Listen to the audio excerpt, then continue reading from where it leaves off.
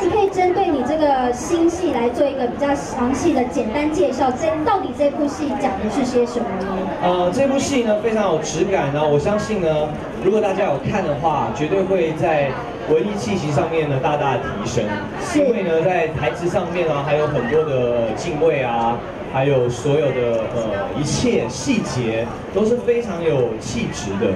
那呃，里面很多的台词都跟很多的很棒的文文艺的呃词汇结合，对，所以说如果大家有看的话，可以感受到呃在里面呢有浓厚的文质的感，呃文文艺的质感，对，所以说希望大家能够呢呃多看，然后也给我一点指教，因为我在里面呢是花了很多的心血，然后研究李哲轩这个人，然后进入这个角色。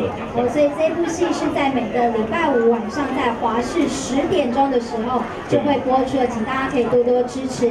那我们的鬼哥，就是你最近还有没有什么样的一个行程可以为大家来做一个分享呢？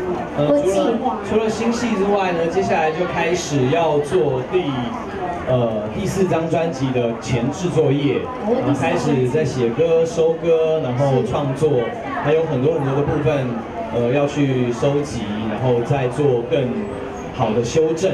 那希望大家呢一定要来支持我的不同的作品，对，包括主持啊，包括我的呃，当然就是今天啊，对对对，然后我我等一下当一日店长的时候，也希望大家能够进来看看我。对。好，说到了一日店长的部分，也有针对我们这个 Holy 卡 Holy 卡这个品牌，有可以为大家来做什么样的分享呢？因为其实我觉得大家以为就是好像呃产品这些产品都是女生才会用得到的，其实并不然。呃，所有男生呢，呃在清洁上面啊、保养上面也都是非常重要的。所以说呢，包括我可能年轻的时候也有这样的错误的观念。年轻的时候，现在也很年轻呢。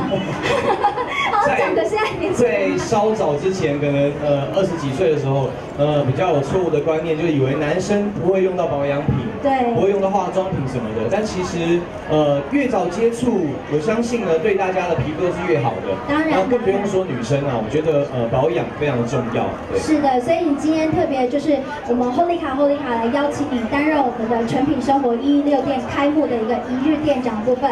待会儿呢，既然你担任呃当我们这个一日店长，我们会做一个小小的测验哦。我们一日店长也是要很专业的，好不好？那在这个小小的测验前呢，我们先让现场的所有辛苦的呃媒体记者大哥朋友们来进行联榜的部分。那要联榜的话，现在就可以开始。可是呃这个哦，好来我们的品牌，对对对，经理哦要特别献花哦，来我们进行合照一下好不好？让我们现场的媒体朋友们可以合照哈。看一下我们的右手边，